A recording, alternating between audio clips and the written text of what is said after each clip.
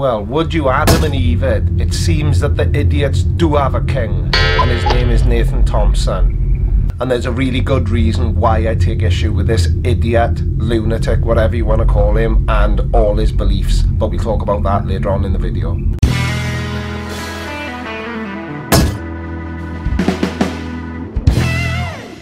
we're not dealing with normal people. Hey, ladies and gentlemen, I want to make an announcement. Has anyone heard the earth is flat? They're psychopaths. I actually can't believe how popular the group is. I woke up this morning and I have 2,200 members to approve, so the group is just exploding. Now, it seems to me that Nathan's whole belief system is based around the fact that he thinks NASA are lying to us about the Earth being uh, a globe or a sphere. But my question would be, what have NASA got to gain by making us believe that the Earth is a sphere? What would happen if the Earth was flat? Why would they need to keep that a secret? They wouldn't. It's really that simple. Um, another part of his theory, which I find absolutely laughable, is the fact that he thinks that the word NASA means something in Hebrew. Good morning, Hebrews and Shebrews. Let, let's just have a look. NASA in Hebrew means to deceive.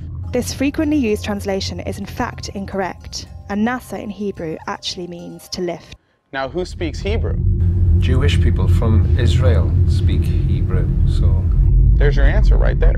Wait, hang on a second. So if you're from Israel and you speak Hebrew, you are responsible for covering up the fact that the earth is in fact flat and not a globe. So you asked me who was behind it, and I think it's pretty obvious once you do the research. Perfect logic. Why didn't I think of that? Nathan, come, come, come here. You do realize you're saying all this out loud, don't you? You ever hear about the flat earth? Did you know what's in the Bible? That the earth's flat? flat So it's in the Bible that the earth is flat.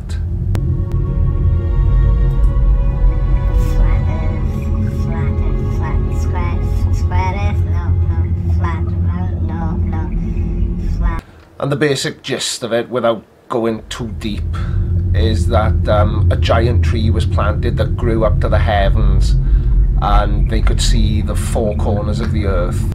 Part of your belief is based on a giant tree and a book that was written in the 6th century when, I'll give you, it was believed that the earth was flat.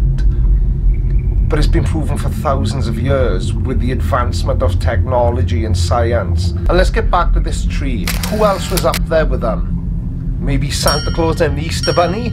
Just stop this nonsense that is fueled by the internet. The thing that baffles me more than anything else about this whole flat earth nonsense is the way that flat earth believers can just brush off centuries of scientific research. And don't worry, we are going to get to the part of the video that explains why I think that Nathan Thompson is a complete lunatic and I may even go as far to say as potentially quite a dangerous individual. The thing is, in this day and age, you you just should really know better. There's years and years of research that prove for a fact, not an assumption, not a theory, for a fact that the Earth is actually round. It's a globe, it's a sphere. It is not I've, I've just come across another clip of Nathan Thompson.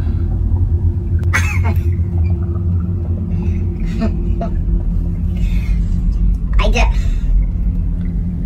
If you needed proof that this guy is a complete nut job, here it is. I've got crosshairs on my back.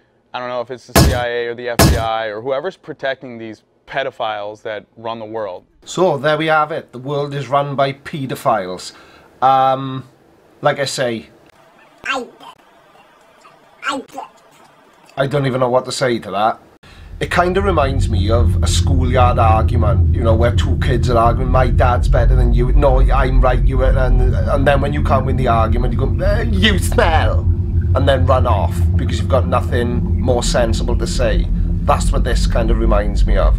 Saying that the world is run by paedophiles. I've never, ever heard anything so ridiculous in my life. Regarding the ice walls, Oh, wait, hang on. Maybe I have heard something equally as ridiculous. The ice wall.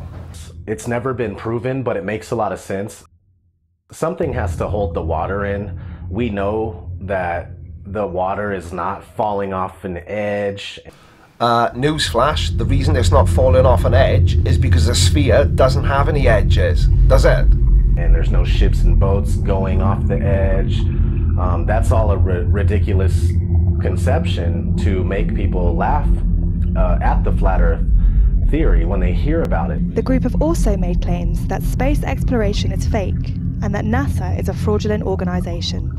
Just bear with me one second. Hello, Elon, Creaky Blinder.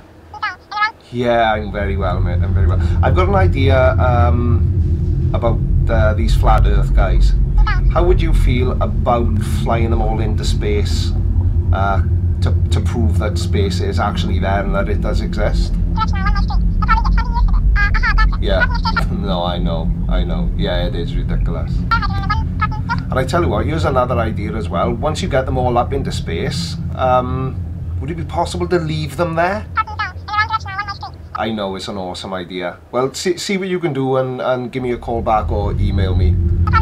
Okay, thanks, Elon. Yeah, you have a good day as well. Okay, bye. It's worth a try. And in fairness, it's no more ridiculous than any of the ideas that flat earthers follow anyway, so what have I got to lose? Get in touch, Elon Musk. Let me know when you can ship them all out. Thanks for watching. Um, if you enjoyed the video, give it a thumbs up and don't forget to hit the subscribe button if you're new. And um, bring it on, flat earthers, because there's nothing, nothing you can say that will make me buy into the idea that this beautiful ball we live on, floating around in space, is flat. Cheers, guys. Bye.